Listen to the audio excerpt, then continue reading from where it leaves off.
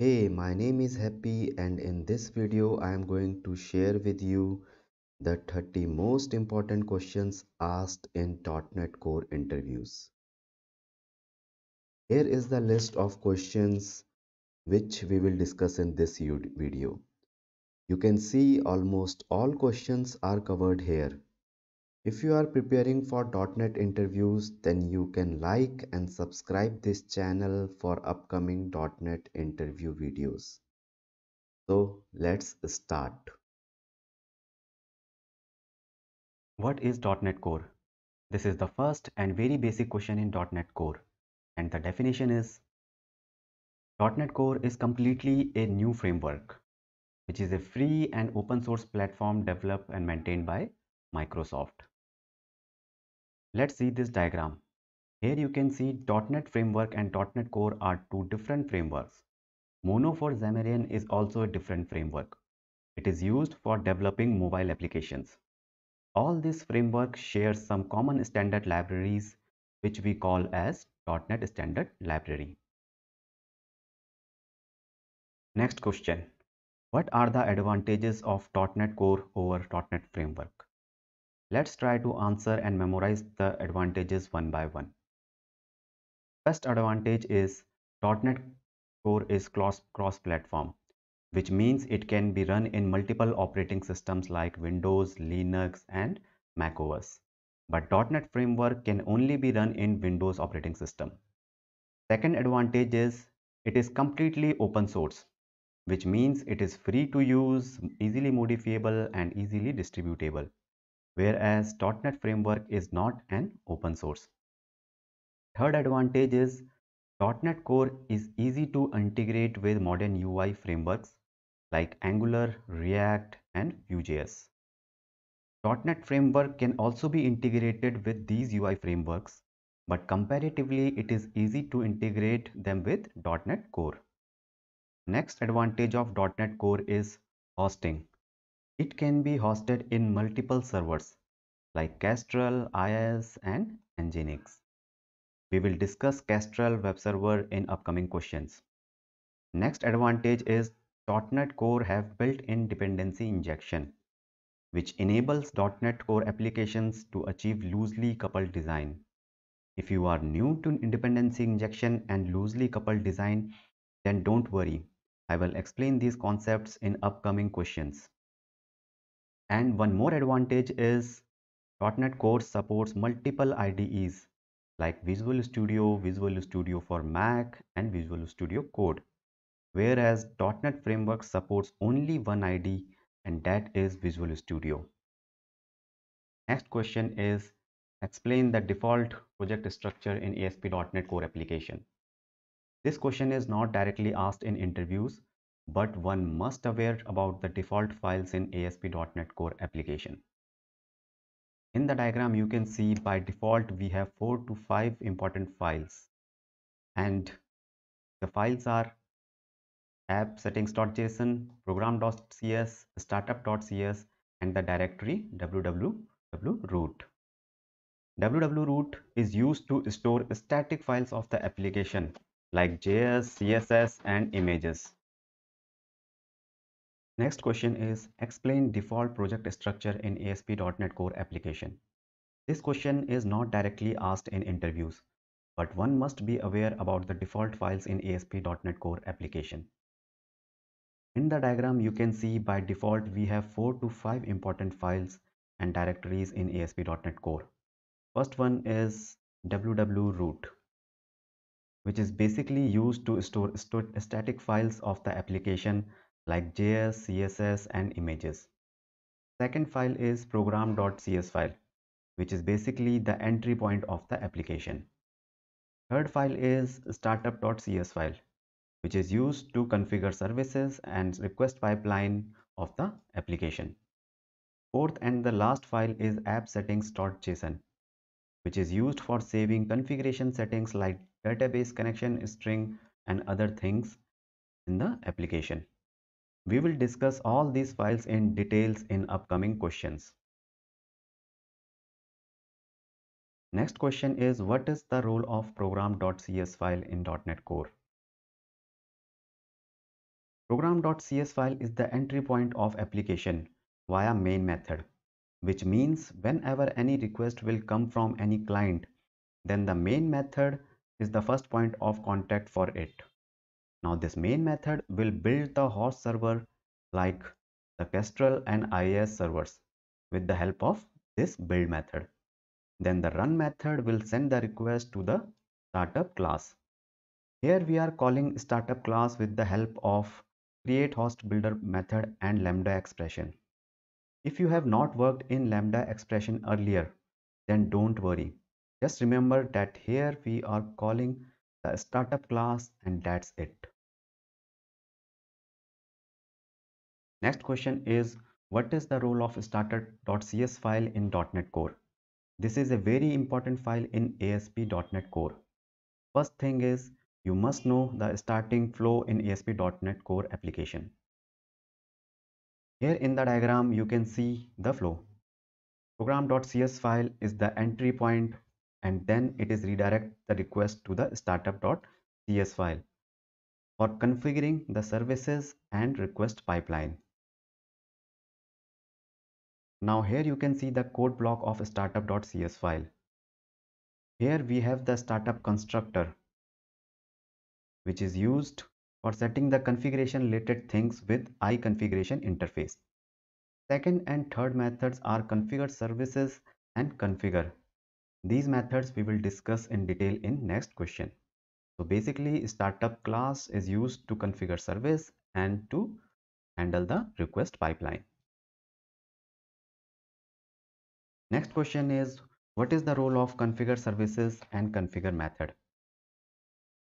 Here in the screenshot you are seeing two methods configure services and configure in the startup class. First is the configure services method which will execute before the configure method. You can add any number of services inside this method but whether the service will execute or not that depends whether you have used these services in your application or not. For example, in the screenshot, you can see we have added one services and that is add controllers with views, which will help controllers to run in this application. But if client request is an HTML page, then this service will not be required. So that's why configured services are optional while execution. It is like adding services but executing them is depend on the type of request received by the server. On the other hand, configure method will configure the request pipeline. What is request pipeline? Request pipeline meaning is all the methods written over here. This one, this one, app root, use authorization and use endpoints. These methods will execute in the same sequence and they are the part of the request pipeline. So every request will process all these methods. Therefore, they are not optional. These methods are also called middleware components. So basically, configure method specify how the app responds to HTTP request and response. Next question is, what is dependency injection in ASP.NET Core? Or how can we inject the service dependency into the controller? This is the most important question in the ASP.NET Core.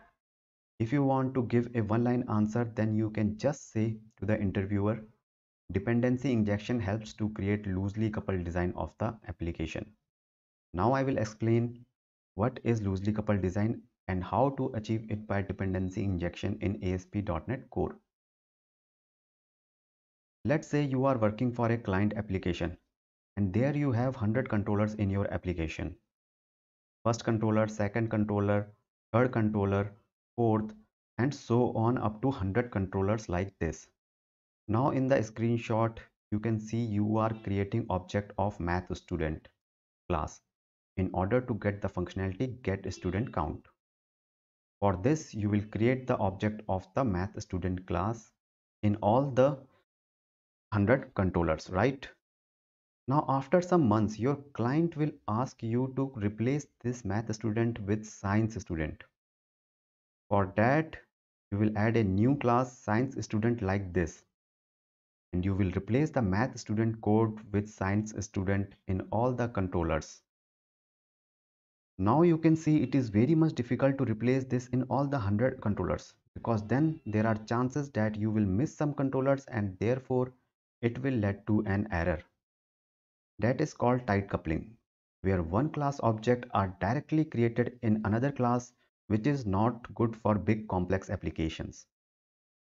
Now in order to resolve this and to avoid creation of objects in controllers, we will create a loosely coupled design. For that, first create an interface iStudent which only contains declaration of the method get student count. Remember, interface can only contain declaration, no definition.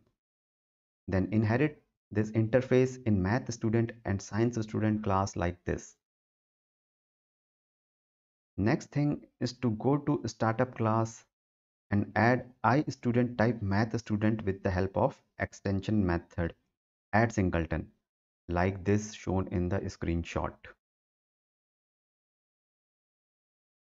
I will discuss this add singleton method in another question but here you can just understand that this is used to register science student class of iStudent type sorry math student class of iStudent type.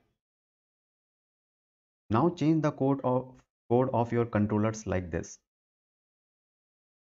You can see that both these controllers have same code and there is no object creation of any specific class and the dependency of iStudent type is passed through constructor in this controller.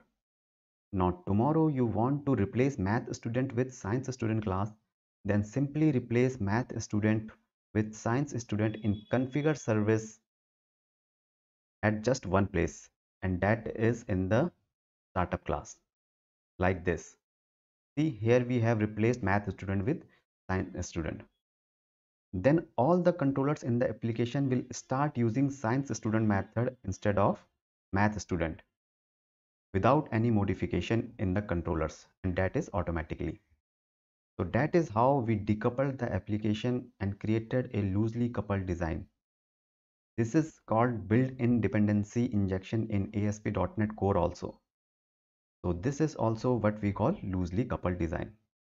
I think with this explanation you are quite clear that we are avoiding to create the object in the controller itself because otherwise it will create a tightly coupled design which is not desirable.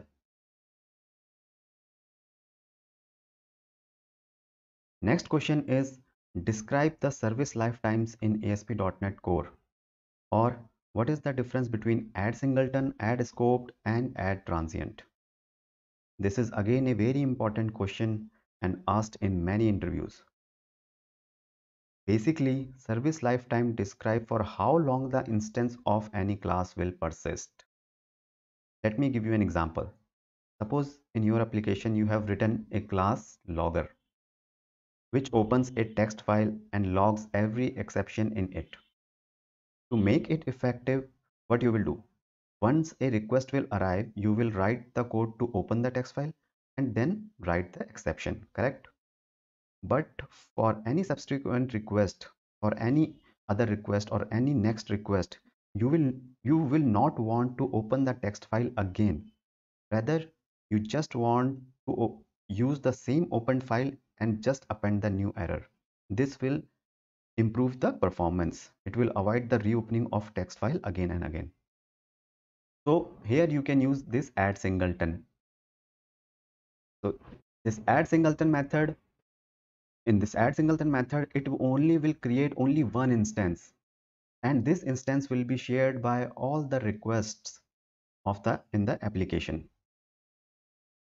not creating the same same class instance for different requests.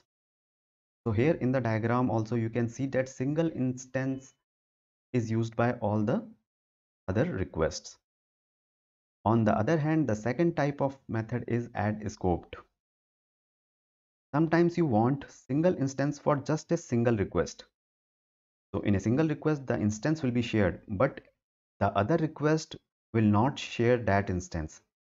To achieve this, you can use add scoped extension method like this.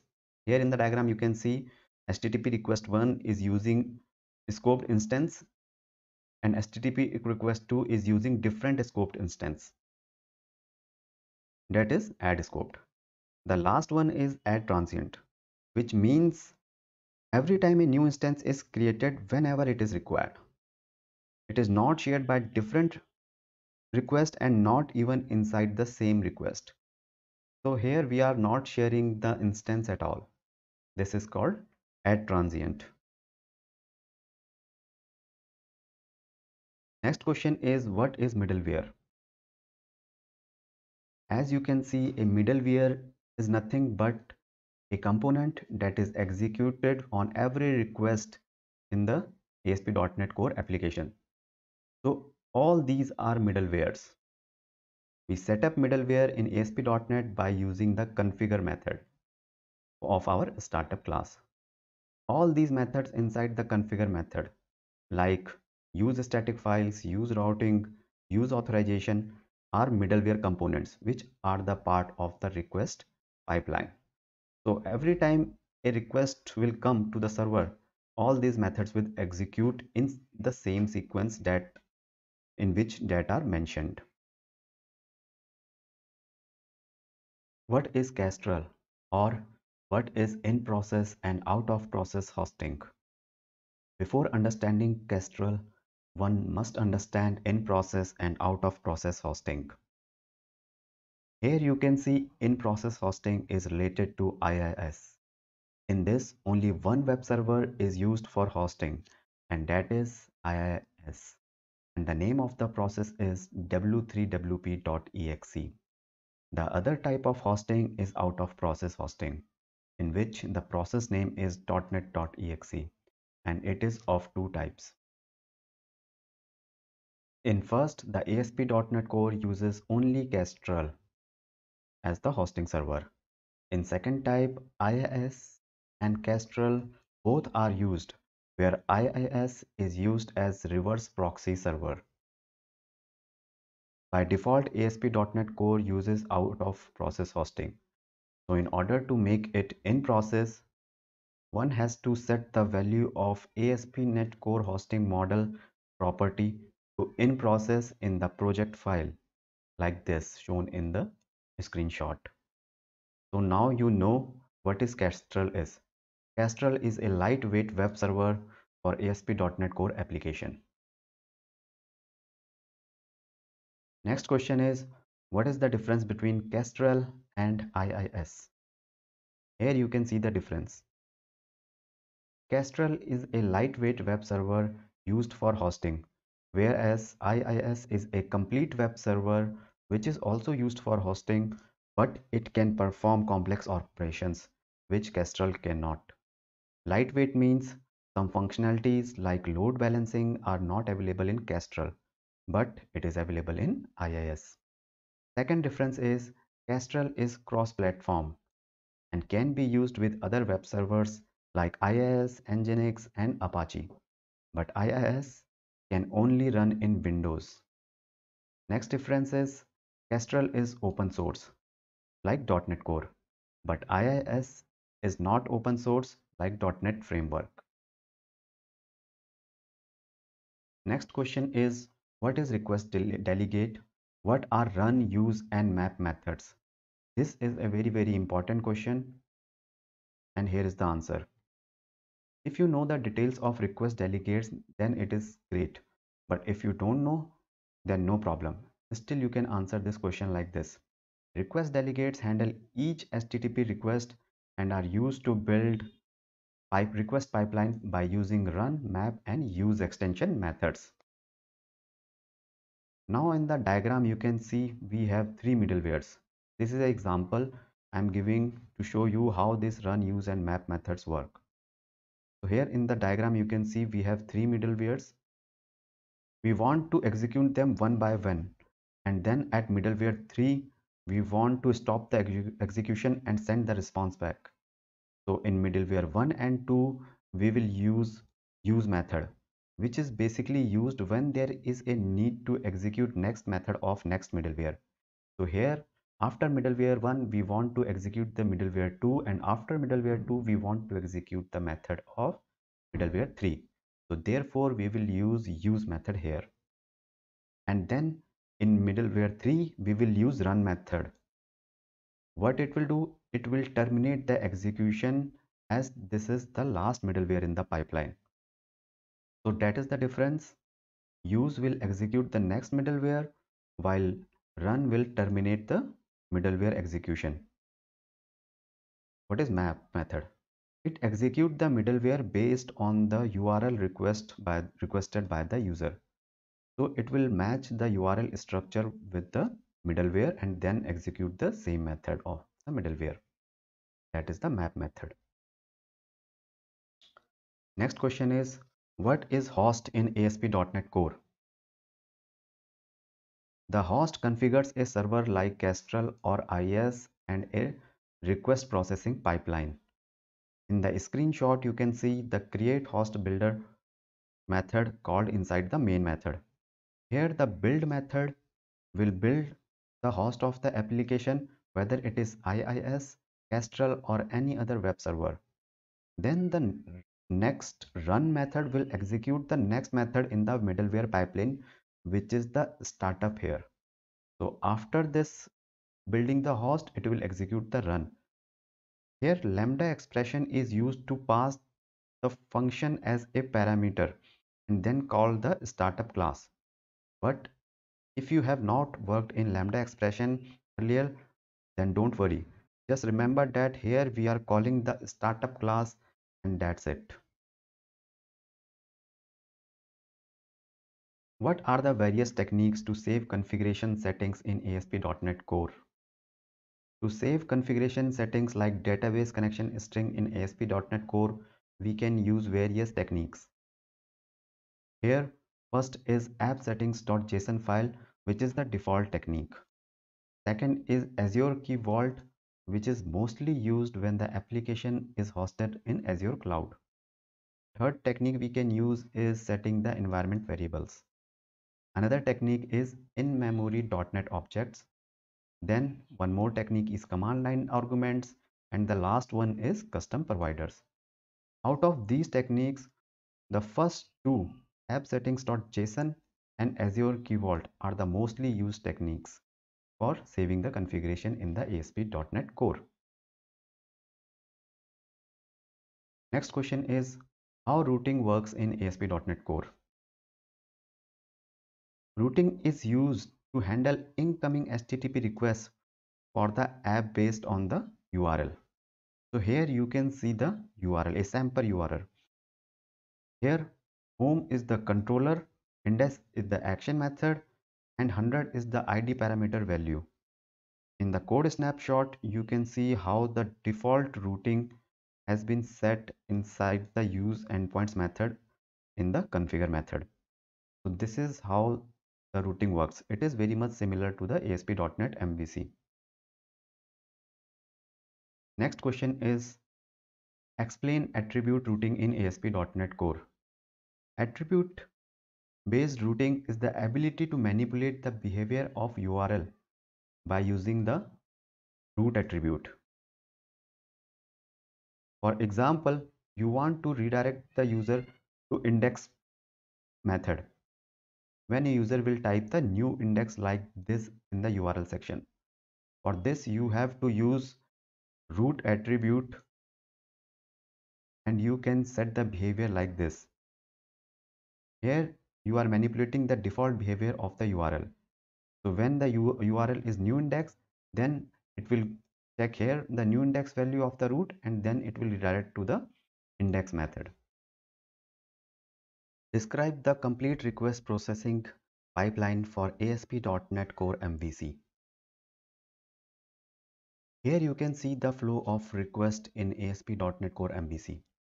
HTTP request will start from middleware, then it goes for routing, then the controller is initialized, then action method is executed, and then the view result is executed, after which view result renders as the response to the browser. So this is the request processing pipeline for ASP.NET Core MVC. Next question is, can ASP.NET Core application work with ASP.NET 4.x framework? Or we can say, can .NET Core application can work with .NET framework? The one word answer is yes. ASP.NET Core application can work with .NET 4.x framework. Next question is what is meta package? Here is the screenshot. You can see a package named microsoft.asp.aspnet core.app. This is the meta package in ASP.NET Core application. It is automatically added in the application by the ASP.NET Core framework. This package alone will include all these dependencies like Microsoft A.ASP.NET and Microsoft.ASP.NET routing, IIS integration, kestrels and others. It helps to do faster development as it do not require to include the individual ASP.NET Core packages. Next question is how ASP.NET Core serve static files. ASP.NET Core templates provide a root folder in wwwroot form which contains all the static files to be served to the client. Then you app.use static files method inside the configure method of startup class enables the static files to be served to client. That's it. What are the various JSON files available in ASP.NET Core? The first file available is global.json where you can define the solution level settings for example your application name and version. Second file is launch settings.json. Here you can set the environment variables in this file. For example, set development or production environment in this file. Third and very important file is app settings.json. Here you can set configuration settings like database connection string and other things. It is similar to web.config in ASP.NET. Next file is bundleconfig.json which is used to configure the bundling and minification for the project of for the project files of CSS and JS files. And at last there is project.json file which is used for storing all project level configuration settings. For example, the version of the dependencies. Next question is what is .NET Standard? .NET Standard is not a framework. .NET Standard defines a set of APIs that the platform must implement to be compliant with .NET Standard, which means it is a set of rules or library which if any framework will follow then it is compliant with .NET standard. In the diagram you can see that .NET Framework and .NET Core and Mono for Xamarin follow that .NET standard rules. Next question is what are Razor pages in .NET Core? Like MVC, there is one more development model which is supported by .NET Core and that is Razor Pages. Razor Pages follow a page-centric development model, just like ASP.NET Web Forms. It supports all the features of ASP.NET Core. In the diagram, you can see a request will come and based on the page name in the URL, it will be redirected to the Razor page.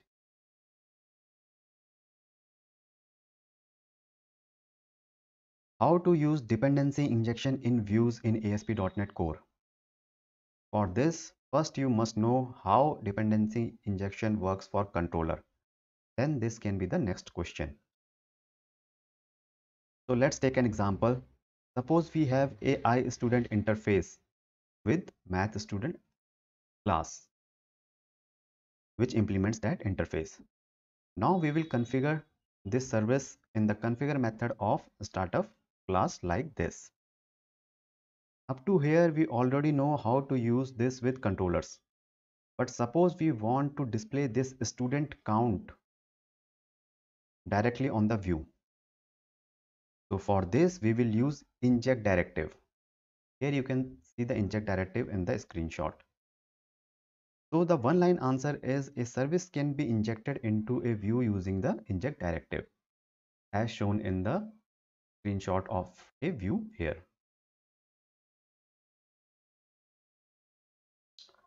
What is custom middleware?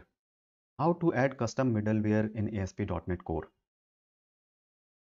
So middleware are nothing but basically a set of blocks which execute for every request.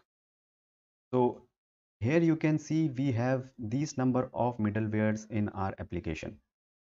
You can remove them, add them, but if you are adding here, they will be executed in the sequence and they will definitely execute. They are not optional. Now to add a custom middleware, just right click on the project and you can add middleware.cs class file like any other class file in the project. Here is the screenshot of custom middleware. This is automatically generated by the .NET Core. Do not worry about the request delegate as we will discuss this in another question and here whatever your functionality you want to execute in this middleware you should add that functionality inside this invoke method. Here you can add that functionality. And then finally add that method in the configure method of the startup class like this. So here you can see the configure method and here we are adding that middleware in the startup class of startup class of our application. This is how we can add the middleware class in our application.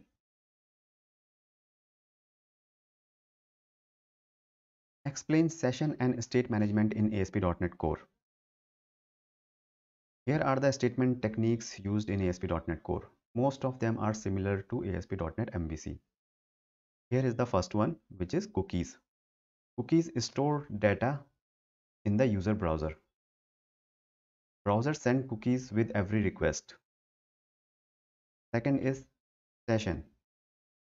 Session state helps in transferring data between different pages. It takes the help of cookies for this purpose. Third is temp data. In ASP.NET MVC Core application, temp data is used to transfer data from controller to view. Next is query string. It is used to transfer data by appending the URL of the request and the data is limited because query string has limited amount has a limited length then the next is hidden fields. Hidden fields are used to persist data in same page during postbacks. We will not discuss all these state management techniques in detail as it will take lot much time then. But you can explore this in detail uh, on google on or on other websites. Next question is explain model validation in ASP.NET Core. In ASP.NET Core, model validation can be done by using data annotation technique. Here you can see the namespace system.componentModel.data annotation. It is used to set the required attribute validation at the top of the name property and therefore it will not accept any null or blank value in it. In the example, you can see mobile pr property does not have required attribute. That means it can accept the blank value. So that's simple. It is with the help of data annotations. Next question is how to handle errors in ASP.NET Core. In ASP.NET Core, error handling for development and other environments can be set in configure method of startup.cs class. In the code screenshot of configure method, if the value of environment.isDevelopment is true, then whole stack, stack trace information will be displayed in the exception page. But if it is false, then you can customize the exception page in the else part. If you want to display any custom er error page in production environment, then you can also replace this code with your custom code. Here you can see the env.isDevelopment method will check the ASP.NET Core underscore environment uh, environment value in launch.json file launch settings.json file. You can set it to production environment if it is the production environment. Right now it is development. And the file it is is launched settings.json file. Next question is how to enable session in ASP.NET Core it's quite simple the middleware for the session is provided by the package microsoft.asp.NET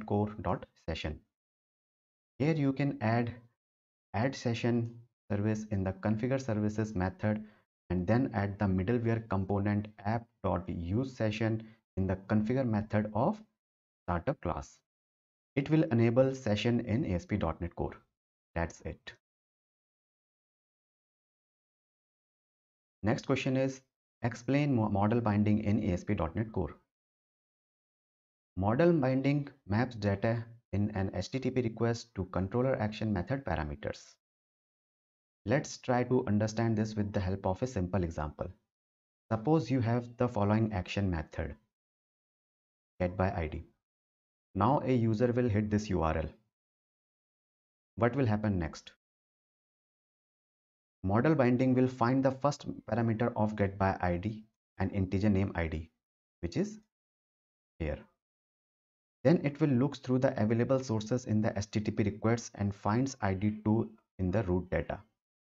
So it will find this. Then it will convert this string 2 into integer 2. This conversion is automatic and it will done by the model binding only so it is one of the benefit of model binding so here you can see if there is any boolean conversion data type conversion that is automatically done by model binding so now you can understand how model binding is making the things simple for url parameter matching with the parameter inside the action method